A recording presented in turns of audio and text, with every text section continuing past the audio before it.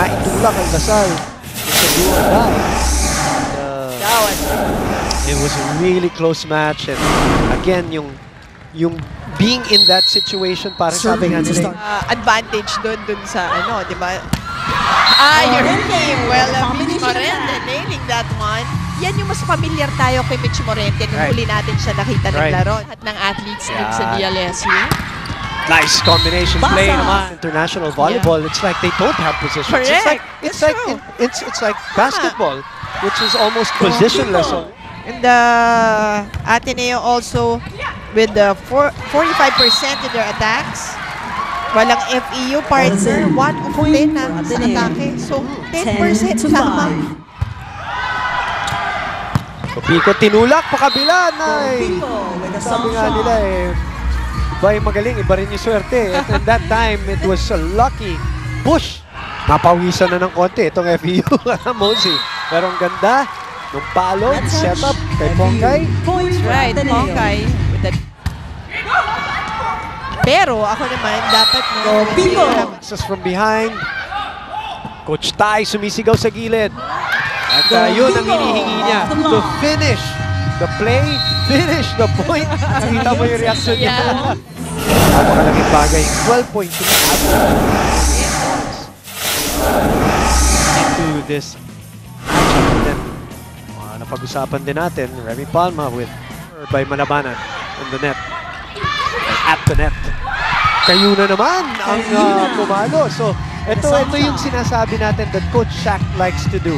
He just likes to, ito tinatawag. Sa liga. Dating lalamya-lamya. Oh, Ngayon, makapalo. walang lamya doon. And that Galit na last galit. play. Parang si Bea Del, 6'5". Ang Anna Copico. Oh, inagaw ni Ginoo yung serve kay Basas. Basas was in better position. 10 to 9. Nice attack by Basas but a good pickup by Hekiliana. Blocked at the net. Sinarhan ng pinto. There you go. They can actually start from their blocking. Para paghugutan mo lang ng something, ano, from uh, F 10,000 Wala games ago. ikakaba nyo. Oh. Yeah, pero good job. Yes. Kuya. Good job also by the defense, the net defense of FEU. Ayun na, the swagger of Palma. Will send it to Ateneo for free ball. Morado goes to Bea. Oh. It catches the corner. Finds the Oh, line. teka, are they going to be overruled by our first referee? Let's see. The first, our first referee, Fernando Villate, ito, goes back to Chin Chin. Oh, what a dig there by Hekiliana. Go Pico. Oh, Puts it away. Pico finds spot, uh, the spot The hero. The hero of their playoff match against San Sebastian delivers the goods. And FEU ang ating number one team dito sa semifinal. You eh. Nag-matter sana yung 14 errors.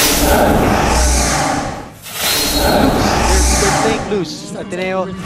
Especially during the yung dikdikan moments, uh, Mosey, nakikita natin na Kailangan lang eh, konting improvement from that second set. Dahil sa dulo lang naman na-decide. good block point. There you go. Again, again, Yan, yan yung, block nag, points. yan yung nagpalamang sa kanila. sa ilalim ng Human Resource Department. At sa huli, Industrial Psych ang mas nagustuhan ni Remy. Dahil set FEU having one, pero may dalawang block points na ang FEU. And another point. Point for Ateneo. Ateneo, check ball. Bea Del, It's just a bad day. Nasimulan kasi ng ano, hindi Basas maganda. Basas with that play. combination play. Yes, Yun. definitely. Malinis yung uh, set up yung palo na yun. That one lands in. Palma on the cross court from the middle. Pinawi.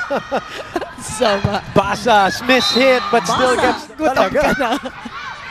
Napansin ko lang. I am not ashamed. Basas getting the point right there. Nilagpasan ka. Okay, okay lang, papakipot lang ako.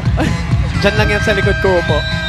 May technical steps na to. Tama. Ayaw mong bigyan ng uh, Yup, ng pagkakataon. momentum. Yes, Oh, they will just grab it and Yeah. take it. with a mature na FEU team. Correct. And Gia down by two. Chance for FEU to score. Kayuna. Oh, And that's wala. it. That was returned by Ateneo.